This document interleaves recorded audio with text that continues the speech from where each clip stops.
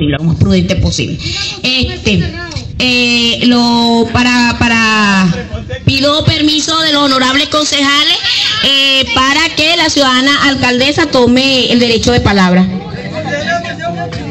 Aprobado.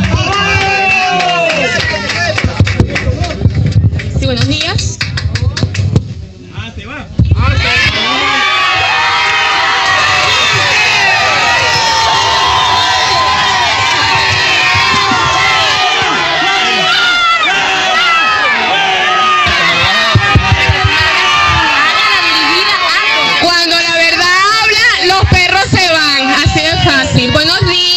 Buenos días a todo el pueblo revolucionario. Pues, por supuesto,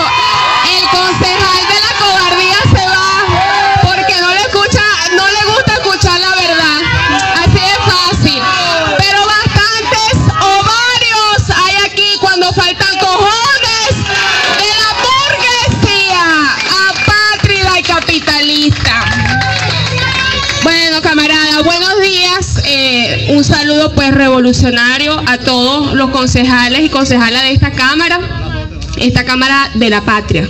Se quedó el bloque de la patria. Se quedó el bloque de la verdadera democracia, donde nos escuchamos.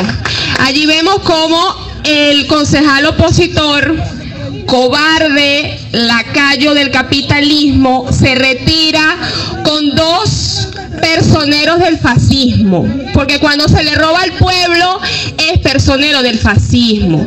Y se retiraron porque simplemente no creen en la democracia. Esa es la posición que tenemos, esa es la calaña de oposición que tenemos, donde no son capaces de escuchar la contraparte, donde nosotros respetuosamente y en particular mi persona, pues me he quedado aquí a escuchar sus opiniones y sus argumentos y ellos simplemente van a cobardía, pero no se le puede pedir peras a los olmos.